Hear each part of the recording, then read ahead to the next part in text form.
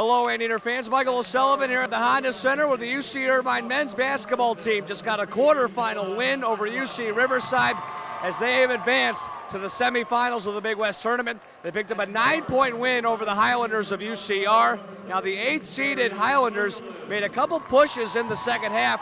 In fact, they pulled this game to within three at one point, but the Anteaters used the steady hands of their seniors to pull away in the end. They didn't shoot the ball all that well, only 5 of 23 from long range, but they did defend, rebound, and make clutch free throws down the stretch. Pleased with the win for our team. Um, thought our seniors were excellent, particularly our guards.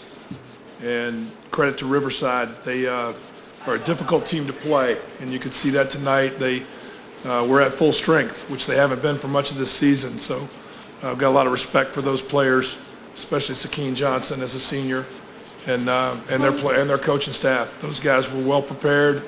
And they made things hard for us, and um, happy to escape with a win. So maybe a tighter game than expected for the Anteaters, taking on the eighth-seeded Highlanders of UC Riverside.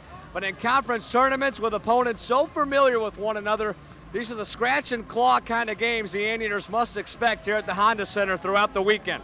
That was the type of game we expected in the tournament. You know, the, the tournament games are typically games between familiar opponents that are hard to pull away in. Um, so the game went about the way we thought.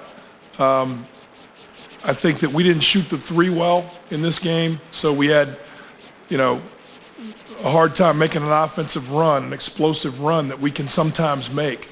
And credit to that goes to them. You know, I thought uh, all of our bench guys were ready um, but we didn't make some three-point shots that were, I thought, mostly pretty good shots. Um, but we did defend and we did rebound, and uh, we're going to win ugly a lot of nights, especially if we shoot five for 23 from the three. Uh, we're the number one three-point shooting team in the league, so that's an unusual night for us. I'm glad we got that one out of the way tonight. So UC Irvine takes care of business here on the opening day of the Big West Tournament. Honda Center with the win over Riverside.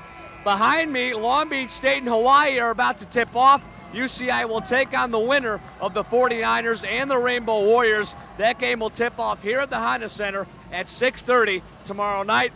Hope to see you here, Anteater fans, and we will recap that game like we did this one here at the Honda Center on Friday.